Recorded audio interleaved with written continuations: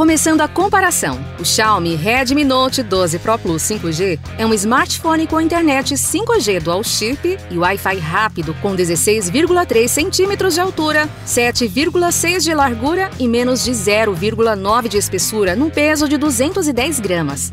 Por sua vez, o iPhone 11 é um aparelho com internet 4G Dual SIM e o Wi-Fi rápido, com 15,1 centímetros de altura, 7,6 de largura e 0,8 de espessura, num peso de 194 gramas. Na parte da frente, o Redmi Note 12 Pro Plus 5G tem tela infinita de 6.7 polegadas Full HD Plus e câmera frontal de 16 megapixels. Já na parte da frente do iPhone 11, temos display infinito de 6.1 polegadas HD Plus e a câmera frontal de 12 megapixels. Agora, na parte traseira do Redmi Note 12 Pro Plus 5G, vem a câmera principal tripla de 200, 8 e 2 megapixels com flash.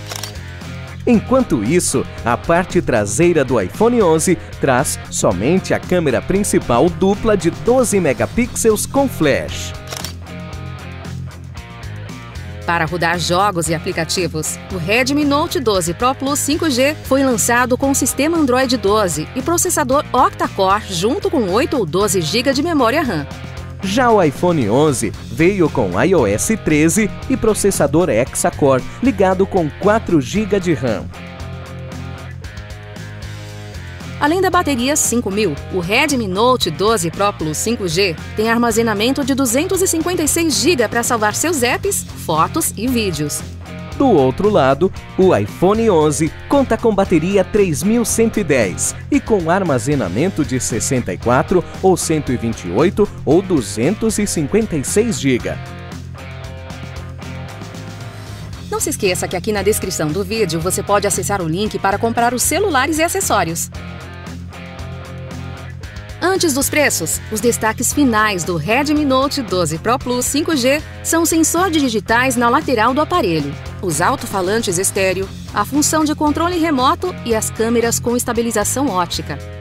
E os destaques finais do iPhone 11 são o desempenho rápido e eficiente com melhor harmonia entre software e hardware, as câmeras com estabilização óptica e desbloqueio por reconhecimento facial, os alto-falantes estéreo e a proteção contra água e poeira. Atualmente, o Redmi Note 12 Pro Plus 5G pode valer a pena na seguinte faixa de preço. E é claro que ele traz tecnologia NFC para pagamentos e demais funções. Já o iPhone 11 pode ser uma boa nos seguintes preços. E ele também vem com tecnologia NFC.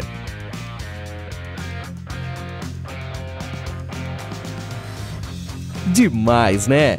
Confira as nossas dicas para os dois celulares, os links na descrição do vídeo e se inscreva também no canal.